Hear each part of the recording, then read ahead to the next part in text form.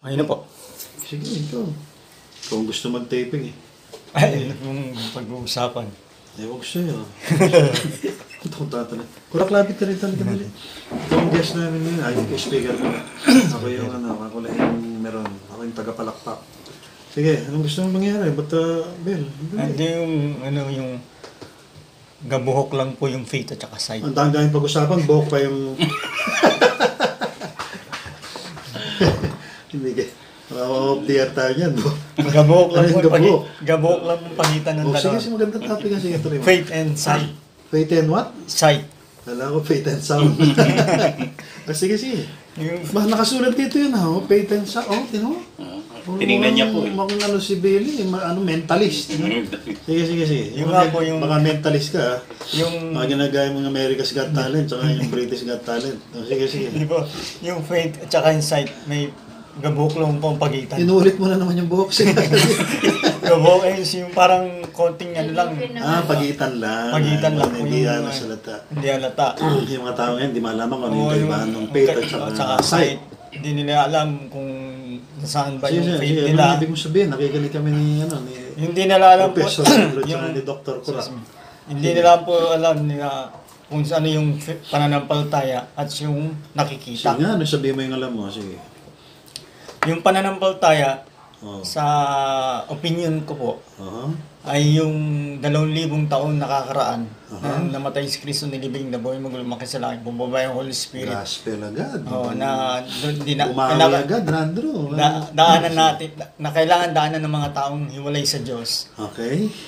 ay hindi ka nakita doon sa lugar ng pangyayaring yun. Okay. Pero naniniwala ka na nandun ka.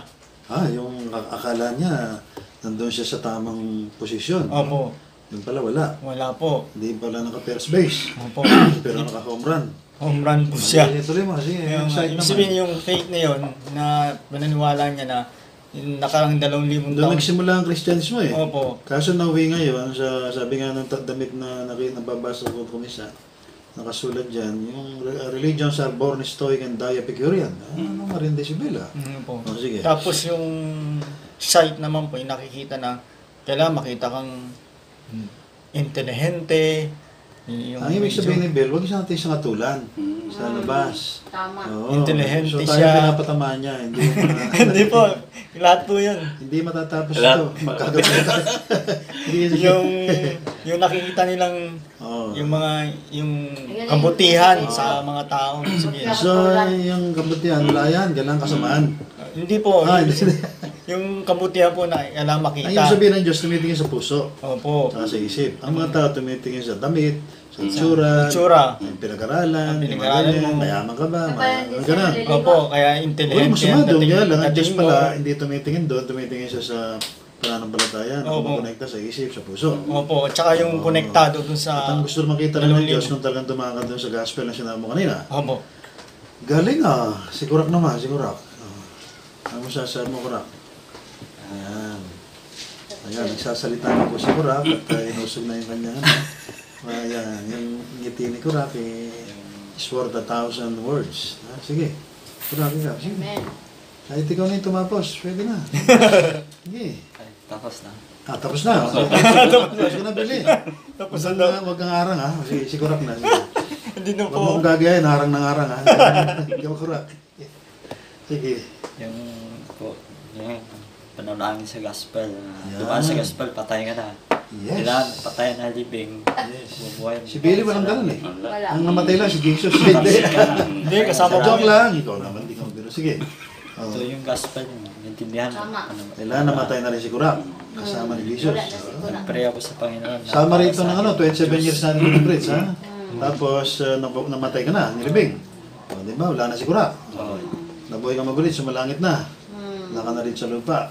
Oo po. eh, bumaba yung Holy Spirit, baba ka rin dito. Pero nasa langit ka. Oo.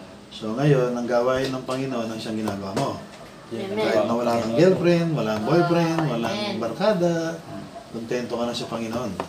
Ah, oh, ang galing na. Diyos pa rin ako. Galing. Tama, ano yan?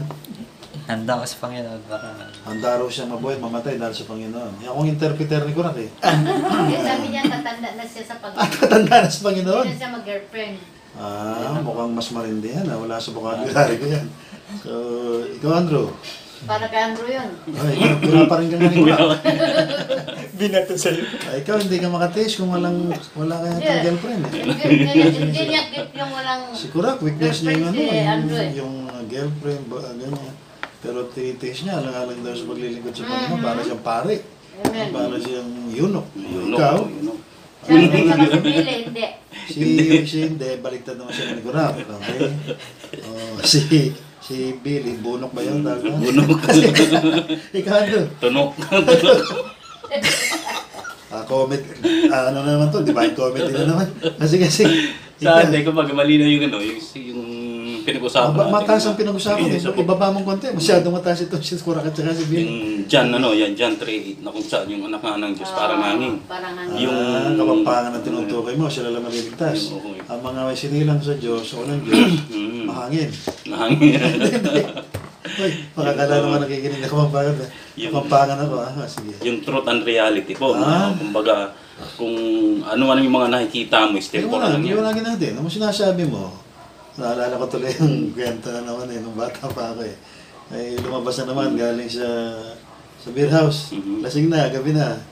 Kaso, kabilugan ng buwan. Ano, Mhm. Hindi foggy ito, no? kabilugan ng buwan. Eh, sabi nung isa, pare, sabi, kung talagang hindi ka pa lasing, pakisabi mo nga sa akin kung anong kulay ng buwan. Mm. Sabi nung kumpare niya, pare, alin ba dyan? Yung kaliwa o kanan? ha? Yung kaliwa o kanan? O, alam mo yun, ha? Oo. Huwag ka mag-insulto. Alam mo yun. Yan ang ibig sabihin ni Bill. Mm. Ito mo sa dalawang ibig sabihin ng pananampalataya at saka gawa. Ay, ano, sight. Mm. Ay, Faith and sight. Mm. Parang yung buwan na kaliwa at saka. Mm. Hindi kaya Bill, ano, may, may yung mata mo may depression. Mm. Truth and reality. Kasi yung mga tao ngayon, walang dila alam na may Wala mga na. ibang kulay pala ang Mm. buhay, di ba? Tulad mo, sinasabi mo, John 3.8. Ang sinasabi ni Jesus Christ doon, ang context niyan, John 3.3, John 3.5, Balat. John 3.6, John 3.7. Mm. Eh, meron pang iba, kaya lang ang point dyan, yung born again ka ba? Mm. no? Talaga bang namatay ka? Talagang tapos tulad na sabi ni Kurak, talaga bang wala ka na bilang tao? Uh, di ba? Naalala ko yung mga early Christians. Napagkakamalan sila ng mga mga Roman people nung araw, at mga Jew and Gentile, na pag nagpe-fellowship kasi sila gabi.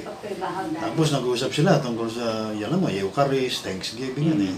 Ah, nag, nag, nag, ah, madaling araw, komisyon, nagpe-fellowship sila, madaling pa. At ah, nag-usap sila na kumakain sila ng laman, kumakain ng ganito.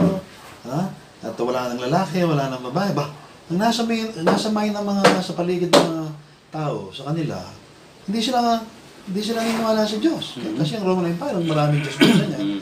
Sila yung tinatawag na atheist. So napagkakamalan silang nag-sexorgy. Mm. Okay? So yung mga terminology nila na in in-house, ibig sabihin sa kanila yun, yung mga terminology nila bilang Christian, hindi naintindihan ng mga nasa paligid. Kasi exclusive sa kanila. Nami-misunderstood sila. Napagkakamalan sila mga sorcerers, mga adulterers, mga rebels. Kasi iba yung ugali nila. Bigla sila nag-shift from uh, Roman culture to Christian culture na ngayon na-institutionalize. Naging simbahan, naging co- communion, naging uh, Eucharist, o kaya pelo-fellowship. Di ba? Ngayon, pagka kumilos ka ng iba, kaysa doon sa kinikilos ng institutionalized Christianity, whereas nagsimula sila sa napaka-rugged, napaka, napaka grassroots ang level ng kanilang worship, eh, nagtataka sila sa atin, di ba? O, di ba, nakikita tayo, hindi tayo nagpipray. Mm. Bagong simula, hindi tayo kumakanta. Mm. Uh, bagamat ma- malaya naman tayo kumanta. Eh, uh, yung John 3.8 mo, parang ganun yata. Ah. Ang mga sinilang talaga sa Diyos, o ng Diyos, hindi katulad ng sinilang sa ibang kaparaanan. Mhm. Yes. Like flesh, o kaya some other matters. Uh, la- lalo na't nitong muling araw, tinitingnan natin ang context na to sa last days na kung saan kailan tatnan tayo na uh, kung darating na sila, buhay, di ba? Kaya meron tayong tinatawag na Gospel of God. Kaya kumisan yung yung Church of God na sinasabi sa Bible na pagkakamalan nila parang institutionalized na naman. Mhm. Ginagawang religion ngayon, yung Church International, God's yung Church of God. Oh, pero may point yun, may, may element of truth yun, Andrew, kasi yung born of God, prophetic yun, yung nasabi mo sa John 3.8. Tandaan mo, uh, sequential yun. Alam ba, John 3.3, you must be born again. John 3.5, you must be born of water and the Spirit. Tapos sabi ng Panginoon sa susunod, di maring di kayo lahat sila magulit. Tapos sabi niya, lahat ng mga sinilang sa Diyos, ito na, ito na, itong panguling, Mhm. panguling araw, pang last days ito, itong kinote mong mga verse. John 3.8, hindi pang early medieval yan, ha? Pag born of God ka, ang ibig sabihin, Church of God ka, hindi ka Church of Christ. Pero kailan wala ka sa religion sa labas. Okay? Na kailan namatay ka, katulad nung parallel natin, na lagi natin inulit-ulit, para kang yung chronological dispensational chart natin, na ang namatay sa iyo, yung lahat, body, soul, lalo na spirit, di ba? Itumbas yun ng destruction of the universe, yung death mo, yung burial mo, yung lake of fire, resurrection mo, yung new earth, at uh, ascension mo, new heaven, at ang papasok sa iyo, hindi lang si Jesus, yung Cordero, kundi yung Diyos Ama, yung mga yung, mga yung tinutukoy mo na. John 3.8. Ang pagkain ng buhay mo, iba kaysa iba. Ito na ngayon, yung parable ko kanina, okay, yung kwento ko. Alin dyan? Yung kaliwa o yung kanan? Okay? Sino yung ipamumuhay mo? Si Jesus o yung Ama? Okay? Alala ko tuloy, itong uh, kababayan ko sa Davao na sikat na rin, ang dinidi niya, si Jesus Christ, Diyos na. Okay? O, although futuristically, pwede, o kaya lang sa ngayon, by faith. Sabi nga ni Billy, pinapaniwalaan natin ang Diyos na, ang buhay natin ay ang Diyos na, sa mamagitan ng Holy Spirit. Pero pagkaya ng pinamuhay natin, Andrew, ibang dating. Okay? Kaya tayo mayroong mga tinatawag na blue code, red code, at saka yellow code. Yung mga nakikinig sa atin, medyo familiar na sila dyan. Yung hindi pa, i-review na lang nila. Yung mga una nating mga nakaraang mga episode, ay many, many years ago. Yung halimbawa, yung blue code. Yan, yan, is innocent, di ba? Adam until Abraham. Halimbawa, red code. Abraham until John the Baptist. Yan ang law. Okay? Dis- Dispensation of law, government, etc. Yung blue, innocent. So, alam mo na, parang bata. Nasa age 1 to 6 lang yan. Okay? O yung ano, yung red code, parang 7 to 12. Mga ganun, di ba? Yung pa- Yun ang parallel niya. So, tayo, wala tayo doon. Uh, parallelistically speaking, nandun tayo sa 13 up. No? Yung church, umiibig na, pwede na mag-asawa, ganyan, mga ganun, pwede na pakasal. So, dapat ipamu- ipamuhay niya, ibang klase, hindi yung master ng red code, na kung saan law, administration, government, programs, na katulad ng ginagawa ng mga Christian sa labas. No, although I'm not saying na sila ay red, okay, okay, pang angelic. Madalit salita, hindi tayo pang lupa, hindi tayo pang millennium, hindi tayo pang angelic, kundi pang langit. Ito yung napakalaking problema ngayon kapag hindi mo naintindihan. Yung tinatawag na dispensationalism natin, hindi yung dispensationalism, na John Darby, sina Bullinger, at saka yung mga naunang mga dispensationalist, itong mga last days uh, uh, Christian theologians na eschatologists. So Andrew, kanina yung sinabi ng John 3, ang laking ano niya, hindi siya yan. Kasi pagkaya ng buhay mo sa uling araw, dahil tinuring mo talang totally patay ka na, at lalo na major natin, libing. Mhm. Hindi yung resurrection, kundi yung ascension. Hindi yung Holy Spirit ni Jesus, kundi yung Holy Spirit ng Ama. Ay, sabi sa John 3.8, eh, umihip ang hangin. No? Pasensya na, yung gets, hindi ko ano bang. Oo, oh, may i, ano yun? Umiihip. Ihip ang hangin. Umiihip. Ang hangin. Ang hangin. Hindi hang, hangin. Ang ang hangin. Kung saan niya ibig. Mhm. Okay? Ah, hindi mo alam kung saan galing, sabi sa Bible, hindi mo alam kung saan patutungo. Pero narinig mo yung ugong. Malalim yun. No? In my 50 years, years study sa Bible at saka sa iba't ibang hermeneutics, ma- ah, inamin ko, hindi ko ganong naintindihan yan. Okay? At pati yung mga commentators na binasa ko na hundreds, even thousands of them, iba-iba. So, nitong uling araw, hindi ako nagmamagaling, pero sinasabi ko lang dahil sa, ang alam ko, ang Spirit ng buhay natin. So, binibigay ko yung credit sa kanya. Nang ibig sabihin nito, yung buhay natin, Andrew, hindi katulad ng mga Christian sa labas. Okay? Wala tong ano, wala tong program, wala, walang ano to, walang philosophical frame o kaya tinatawag na worldview na pwedeng pag-aralan mo sa philosophical uh, world o kaya sa theological world. Wala. Oh, parang hangin. Okay? Hindi mo alam kung saan galing. Now, I'm not talking about itong mga weatherman, okay? Mhm. Ang sinasabi ko, ito talagang general principle sa hangin. Hindi mo alam kung saan galing.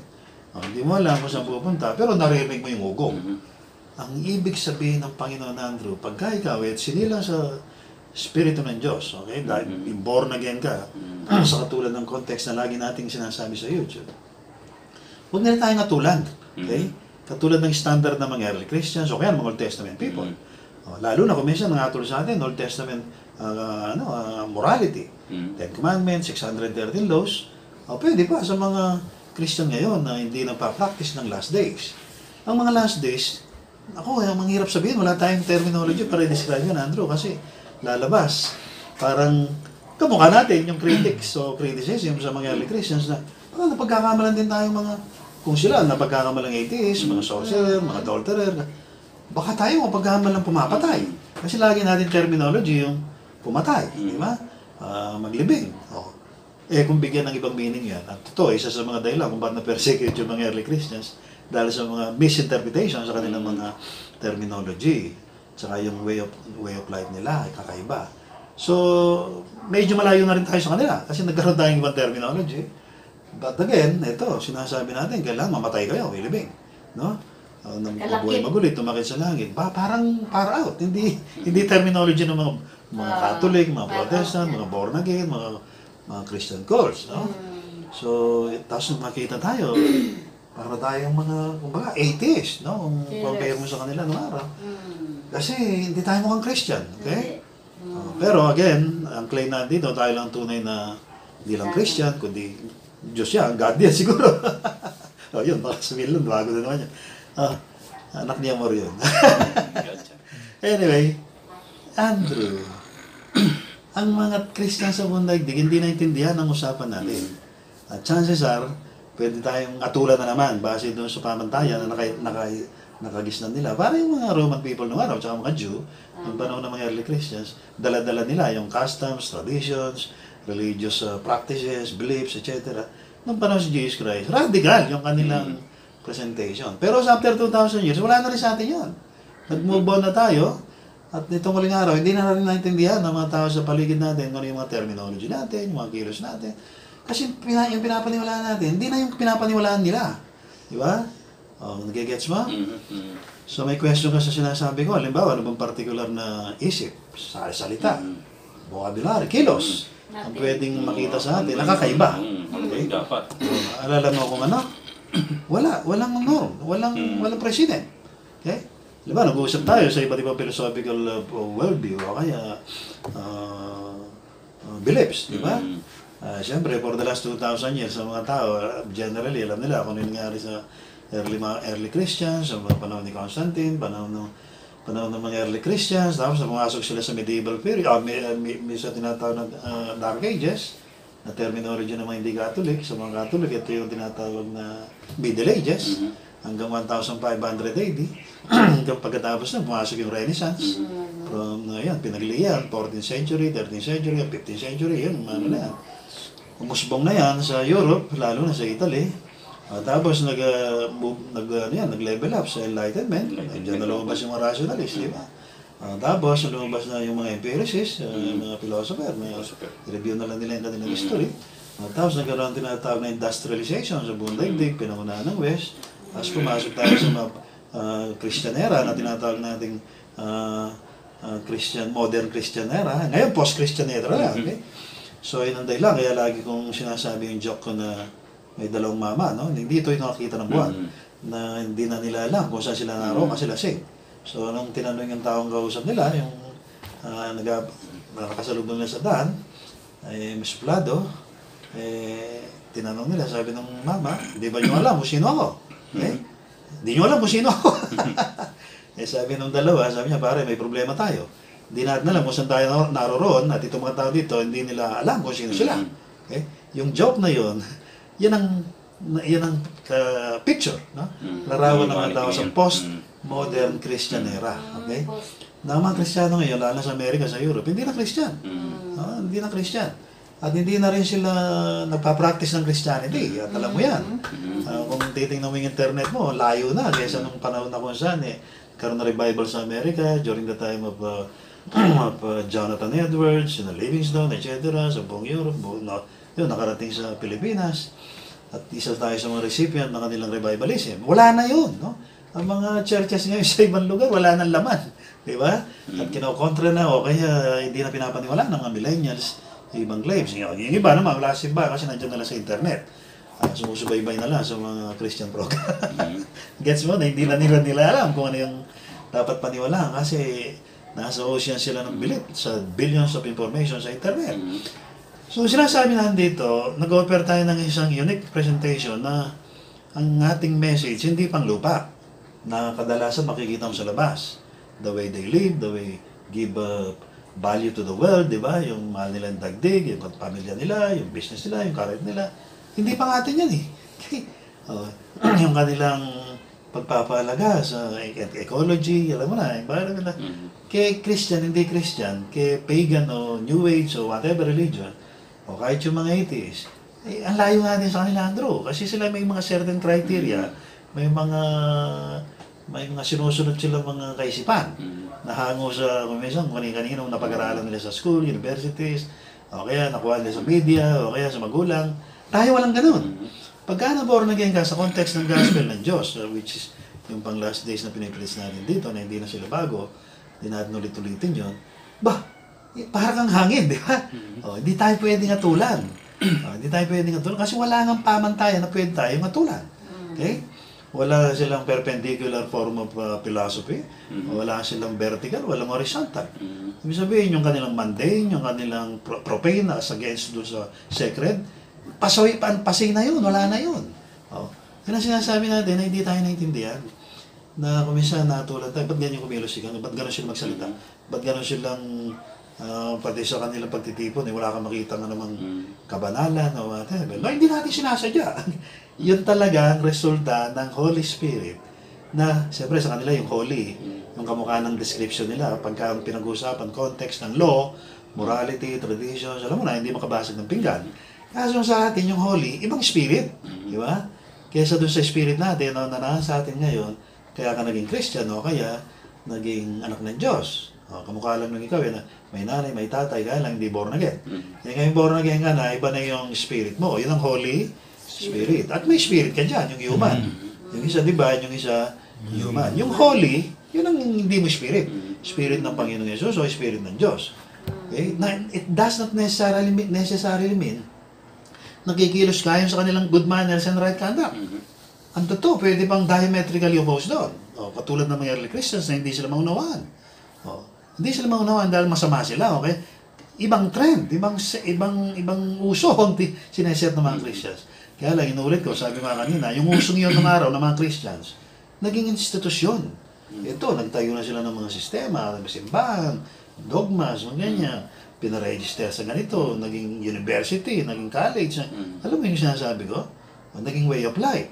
O, na hindi naman talaga sa Panginoon at lalong hindi pang last days. Yan ang sinasabi ni at lagi ulit-ulit na dito, eh, sinasabi ni na Miguel de Yuna, Unamuno, ng mga reformer araw, sina Kierkegaard at marami pa, sina, Ber- sina Jacques Ellul, mga latest na mga French philosopher, theologian na sinasabi na ang naging kalaban ni Kristo ngayon, yung Christianity. Lalo na yung morality. No? Hindi sa masama ang morality. Co- co- Corruption of the best is the worst. Napakabuti yung pinag-uusapan ng morality. Kaya lang, pag, pag kinompare mo sa excellent life ng Diyos, ni Kristo, which is life ang dinidin, tulad Against, sinasabi na, against na doon. No? Naging kalaban tuloy. O, yun ang tayo, ang dinidin natin dito, hindi yung about life, about God, about... Hindi, ang Diyos mismo, si Jesus mismo, ang Holy Spirit Persona mismo. yung church mismo. Yun ang objective. Ang lahat ng relativity, yung kanilang iniisip. Yung, uh, yung kanilang mga, alam na, yung the way they, the way they live, the way they conduct their life, their families, their education, political, economic, social, uh, technological uh, relationships na daigdig. Yun ang kanilang pamantayan. Ay, iba tayo eh. Ang pamantayan natin, life.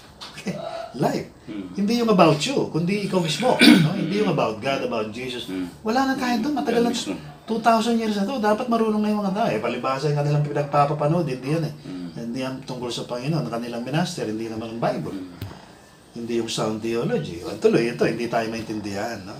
Natutulog sila sa pansitan nung tayo ay talagang halos mamatay, ang na, nabubuhay ng with suffering and even death. No? Nung tayo nagre-research na hindi katulad naman nag-aaral sa school. Ito, bloody ito. E, awa ng Diyos, ang resulta ito. Nakarating tayo sa persona. Hindi yung mga impersonal doctrine lang na alam din natin at ngayon alam din nila nasa YouTube, nasa nasa internet. Kaya lang nakakapatay yun. Sabi nga sa ba, 2 Corinthians 3.16, 3.6 kung di ako magkakamali, the letter kills, Titik the spirit gives life. Doon tayo sa spirit. Ah, either spirit ni Jesus Christ o kaya spirit ng Diyos Ama. Na pumapasok lang, nananahan lang sa tao, pagka tinuring na ng tao yun na patay na siya, tudas na siya, sumalangit na, doon lang lumanahan ng Holy Spirit ng Diyos para siya maging selyo, guarantee na siya may buhay na walang hanggan. O, anong, ano mo, anong comment mo rin sa sinabi ko? Nakaba tuloy ng komentary ko dun sa John 3.8 mo. Um, o, gagawa muna tayo ng konting mga, uh, magpo-pronounce tayo ng medyo mga ra- radical na statement na pwede nating taglayin na na hindi nila ganong naintindihan. Halimbawa, pagka born of God ka, hindi ka pwede magkasala. Okay? Mhm. Amen. Gusto yun man, hindi pwede. Mhm. Ang kaso, ang kasalanan sa daigdig ngayon, marami nang ibig sabihin. Ang tinutukoy yung kasalanan, yung kasalanan na hatong sa kapamakan. As uh, sinabi nga ni John sa Peros John, di ba? Yung kasalanan na yun, nature. Okay? Ugat, hindi yung sanga, hindi yung bunga, hindi yung tao. Hindi yung nature. puno. no? Yung tao mismo, mapatayin. Kaya lagi ko sinasabi sa sarili ko, kaya sa mga tao sa iba, ha? wala kayong dapat problema, problema sa kasalanan na umaad lang sa tao, pabalik sa paraiso at sa langit. Kasi ang kabayaran doon, nakamatayan, binayaran na nga eh. Oh, dalawa pa. Isang, sabi nga nung kwento kanina, alibad siya pare. Yung kaliwa yung kanan. Pareho. yung yung yung kasalanan na nature at saka kasalanan na resulta ng nature, yung mga wala na. Ang inalis dito sa atin hindi yung mga kasalanan lang, yung nagkakasala. Mismo. Oh, ito yung faith na sinasabi ni Billy. Nagkasala. Na kaya natin hindi naintindihan si Billy Gomeza kasi siya yung nagpa-practice ng absolute faith. Di ba? Kaya kahit anong gawin niya rito, kahit anong terminology yung sabihin niya, in-expect niya, maintindihan natin. Kasi nag-speak siya in tongues. Kaya may bugado ka, oh, oo naman daw. anyway, Andrew, ah naki- naiintindihan mo kung gaano kahirap ang kalagayan natin? Hirap. Okay lang, tanggapin na lang natin ito. Na pwede tayong, pati yung mga kasama natin, Mm. pwede tayong mamisunderstand. Kung hindi naman, pwede nga busuin. Itong sinasabi natin, alam mo, hindi na nagkakasala, kaya pala ganun sila. Mm. Di ba? O. Ang sinasabi natin, basta tanak ka ng Diyos, hindi ka pwedeng magkasala. Pwede ka, halimbawa, ikaw, may anak, halimbawa, lima yung anak mo. Kahit anong gawin nila, hindi naman nawawala yung relationship nila sa'yo, tama? Mm. Tama. pero pag ginuha silang masama, ay hindi ayon sa pamantayan mo, may palo. Yung palo. O, yun ang sinasabi ko, yung palong yun, siyempre sa labas ngayon, kasalanan ng tawag. Mm. Sa atin, hindi kasalanan. O kung kasalanan man, hindi antok sa kapamakan, sabi nga ni John. Mhm. Yun kasi kung kasama ka na talaga sa mga anak ng Diyos. Ang problem, pinagkamalan nila, natin, nung araw, na mga anak tayo ng Diyos kasi memo, memorize natin yung Bible. Magsisimba tuwing linggo, nagba-Bible study, may prayer meeting, pag Merkles. Eh, lahat na yun, no? Hindi naman eh. Hindi sila, hindi ka anak ng Diyos kahit na ginawa mo lahat yun. Naging anak ka lang ng Diyos, yun na nga.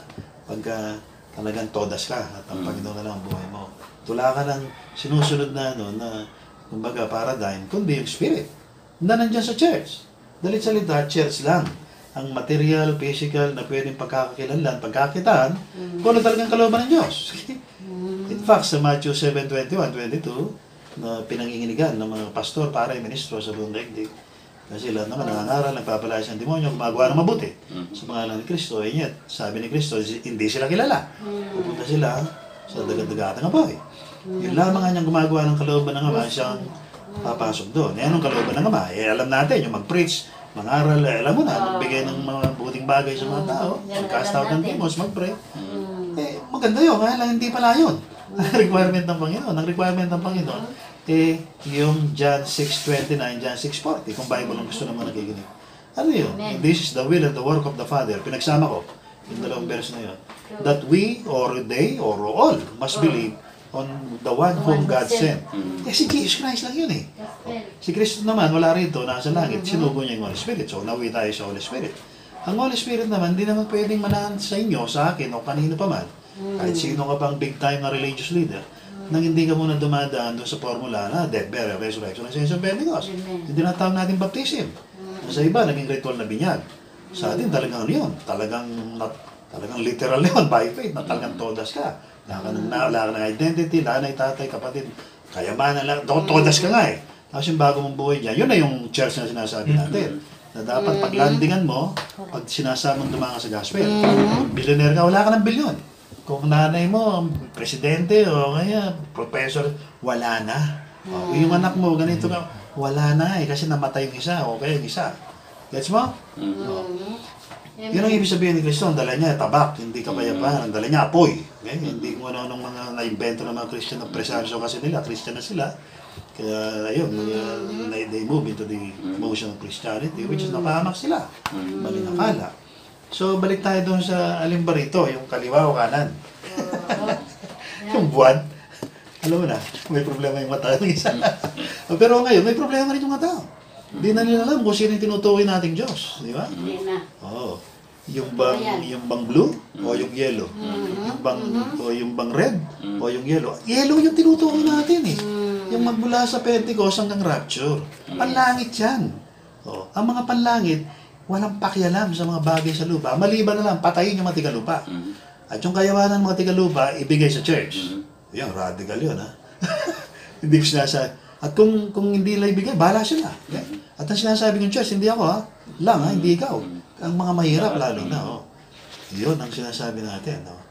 So, wala tayong piniplace na tao, wala tayong piniplace na sistema per se, kasi wala tayong takot.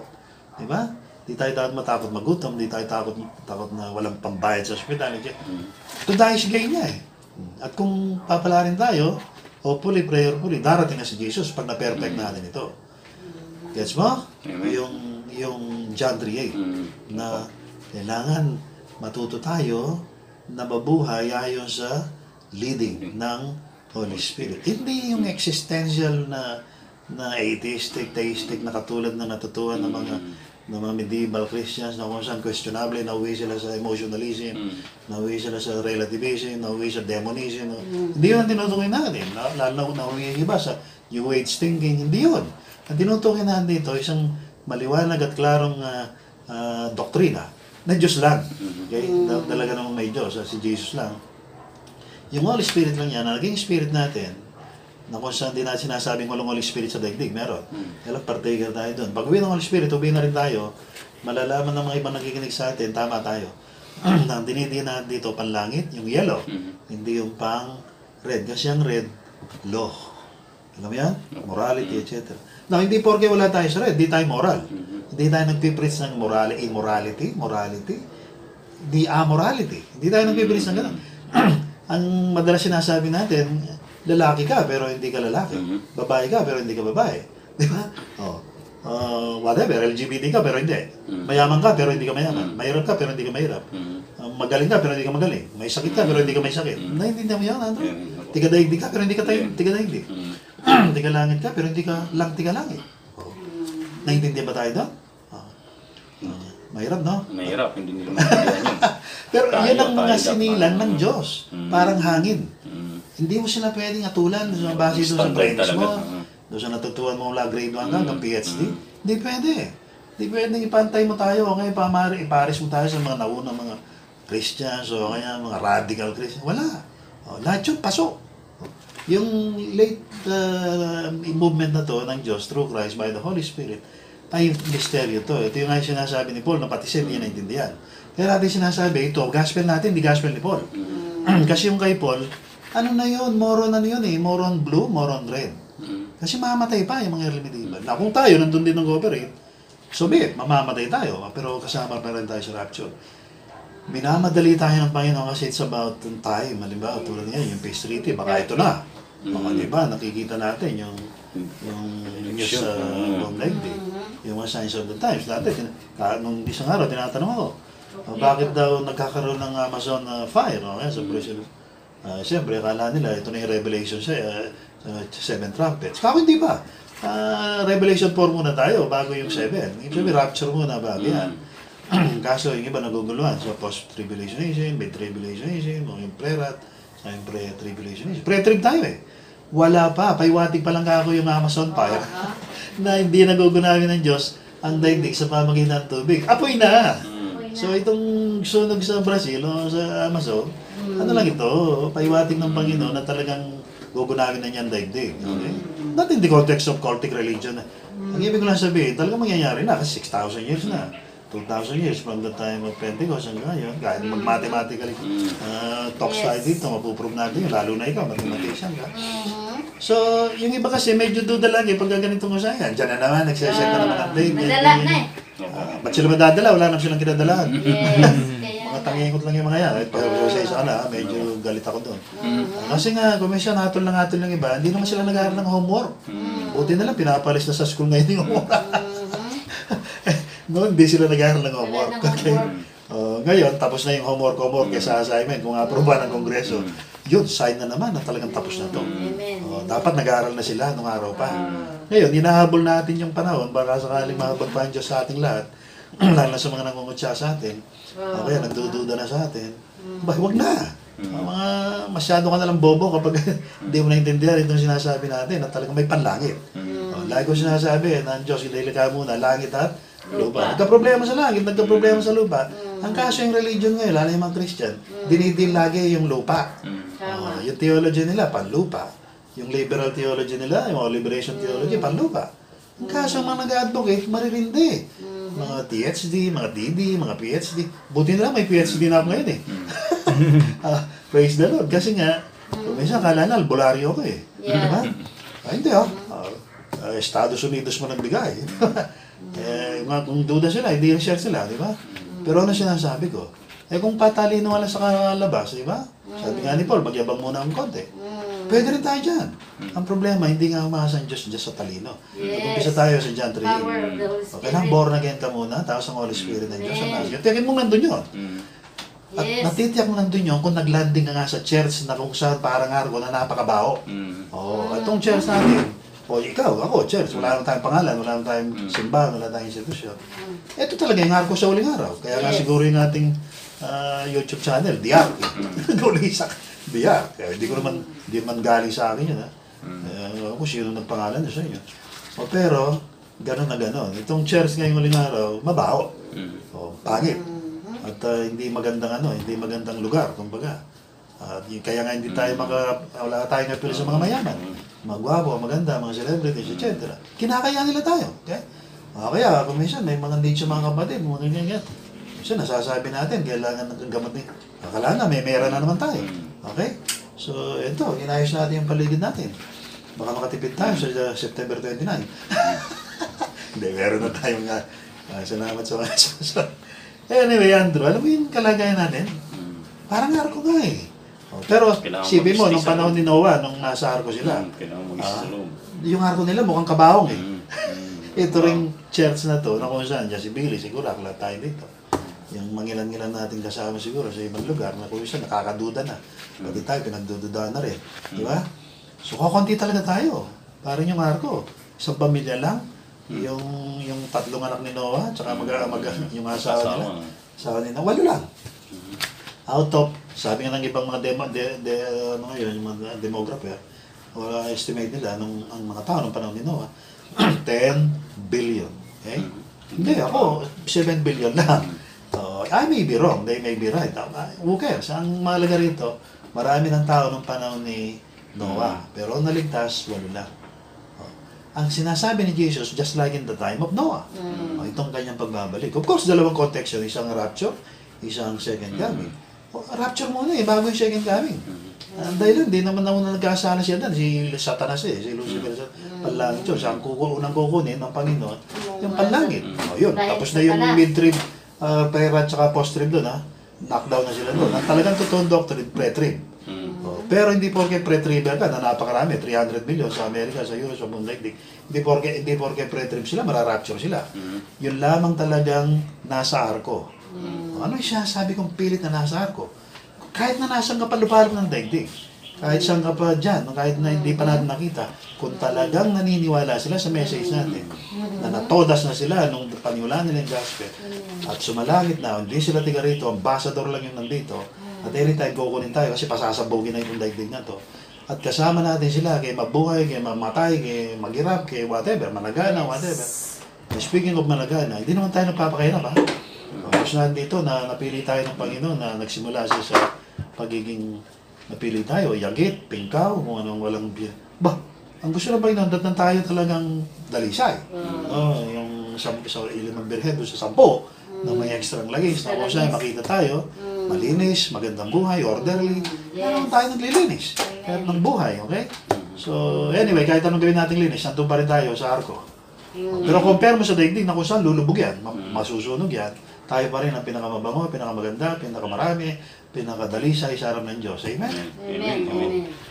So, anong may dadagdag mo ron? John 3.8 na naman. Meditate na lang. Ang John 3.8, ang- hindi, walang pamantayan. Walang standard. Walang standard. Yung marindi Nasa yun. taas ka ng standard. Marindi yun. Mm. Oh, Sila may standard. Problema nila yun. Mm. Spirit. Pag inutaw, pag inatulan natin sila ayon sa ating standard, lahat sila bagsak. Mm. Pag inatulan nila tayo ayon sa kanilang standard, lahat tayo bagsak din. Ang tanong, kanino standard ang ginagamit? O kung kay Satanas, talo tayo. Mm. O kung sa sanlibutan, o kaya sa nakaraang mga standard na Lima, kahit na Old Testament standard pa, hindi na pwede. Lima lang kung panlupa sila, at kasama sila sa 144,000 Jew. Doon sa tribulation period. Kaya hindi pa langit yun. Sila yung patago-tago rito pagdating ng nuclear dito, o kaya ubulanan ng apoy, seven years tribulation period, especially yung last three and a half years. Hindi tayo yun. Hindi rin tayo yung mga red na pupugutan ng ulo. Sa tribulation period. Ngayon pa lang, pinugutan na tayo ng ulo, sabi nga ni Levi. Sa pamamagitan ng dead burial na marindian dati na, ibig sabihin nun, pinorsake mo lahat. In, in the name of the Father, the Son, and the Holy Spirit, at ang landingan mo lang yung church. Ito, na wala kang kukuning pamantayan, walang instruction na susundin ka, kundi yung church. The church reigns and rules, even now, until eternity. Maganda nga no, ano bang meron ba? Amen. Wala na po, kumbaga, kompleto na eh. Kompleto. Baka may maisip ka pa, mami, dagdagan pa natin. so anyway, mag maganda ba nga ito, pundasyon, ng usapan natin, magmula kay Billy na faith at saka sight. Wala tayo sa sight, nandun tayo sa faith. Pero, hindi ibig sabihin masama yung sight. Kailan, makita nila tayo, matalino tayo, malinis, kahit na matandanan tayo, may sakit, etc. Kailan, madama nila ang kaningningan ng Panginoon through the gospel dahil ang Holy Spirit ang gumagawa sa atin. Tama?